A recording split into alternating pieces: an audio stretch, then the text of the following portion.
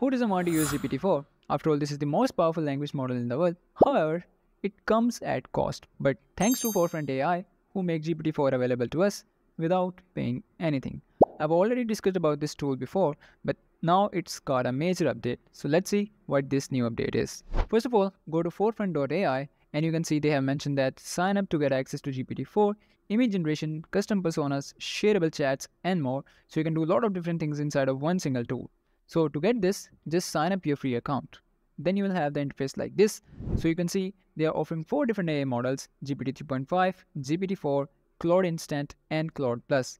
So they added Claude recently. Before that, it was only providing ChatGPT. So if you don't know what Claude is, this is also one of the most powerful AI chatbots. But we are only here for GPT-4.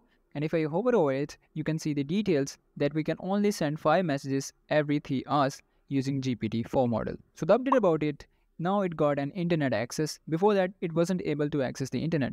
So we will also test this later. But before that, let me prove that this is actually using GPT-4.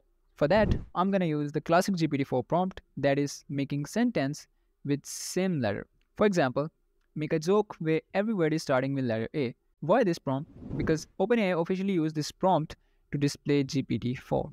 So this is the classic GPT-4 prompt and you can see it provided a complete joke where every word is starting with letter A. So there was a proof that is actually using GPT-4. Now let's try the updated feature of internet access. Let's try something. What is current BTC price? So now it's searching the internet. As of last update on 19th June 2023, the BTC price was 26,433. So I'm recording this video on 19th June.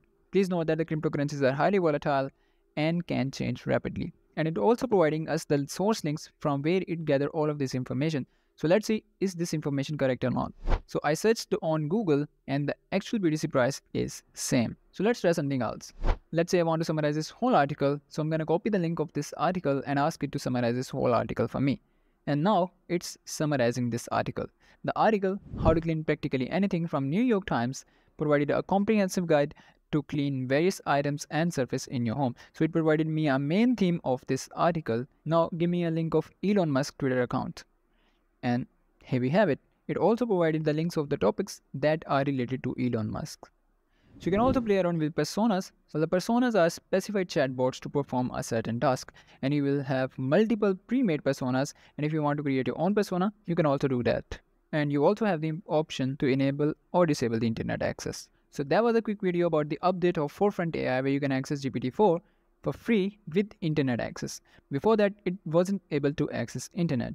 So that's it from this video. If you guys want to stay updated what's happening in the world of AI, you can subscribe Planet AI.